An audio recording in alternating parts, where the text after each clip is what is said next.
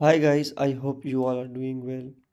So I was facing this issue in my Flutter application. So how I solve this issue? So we ha I have applied different methods. So I just want to share with you. So maybe it will also help you. So this this is the issue. This is a straightforward issue. So uh, this is the issue and also Flutter suggesting me this link of the uh, Kotlin. So what's the latest uh, version like 1.9.22 so uh, Flutter also suggesting me the path where I need to update it so I simply like go to the Android and in the Android I just simply go to the build.gradle in the in in the very top like you can see like this is uh, like here I need to write the latest version.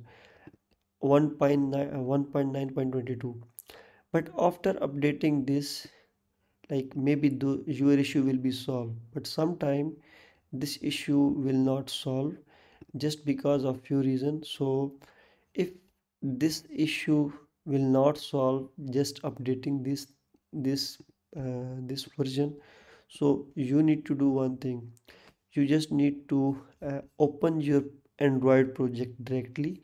Like how you can open? Like simply go to the open and after open you can like this is my project i'm working on. So in which you can see there's an android folder. So directly open it. So after opening it like you can see like uh, like maybe here you can see the option of syncing so once it will be completely sync it will download all the dependency of kotlin new version. So you can see here like a blue tick bit button. So you can see like your build is ready.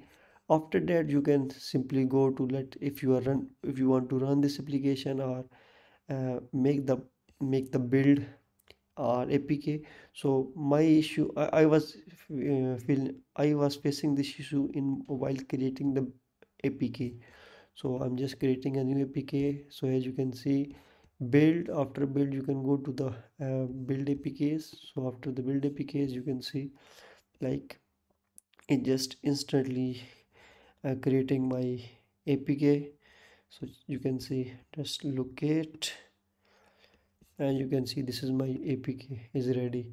So i am is i'm facing this issue uh, but uh, after updating the version it's not working for me. So uh, syncing is the uh, solution of this problem.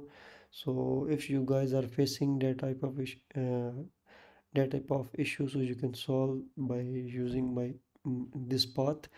And uh, if you if this video helps you to then subscribe to my channel and also click the bell icon for the latest uh, informative video.